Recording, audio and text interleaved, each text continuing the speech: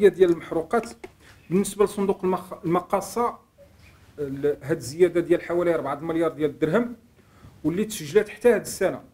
هاد السنة راه زدنا اربعه السنة المق... هو صندوق موجه لدعم القدرة الشرائية فهو أيضا إجراء اجتماعي. 4 المليار ديال الدرهم وزيادة.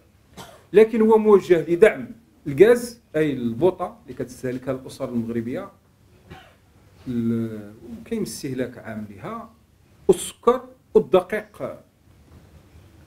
بالنسبة إلينا خصصنا 17 مليار ديال الدرهم الدعم ديال المحروقات ما كاينش في هذا ديال اللي اللي كان في السابق ما غير منصوص عليه ولكن المعطى المرتبط بالإصلاح ديال المنظومة المرتبطة بأسعار المحروقات آه، كما سبق أن أجبت في ندوة سابقة هذا المشروع بين الوزارة المنتدبة لدى السيد رئيس الحكومة مع رئاسة الحكومة من أجل الوصول آه، إلى صيغة.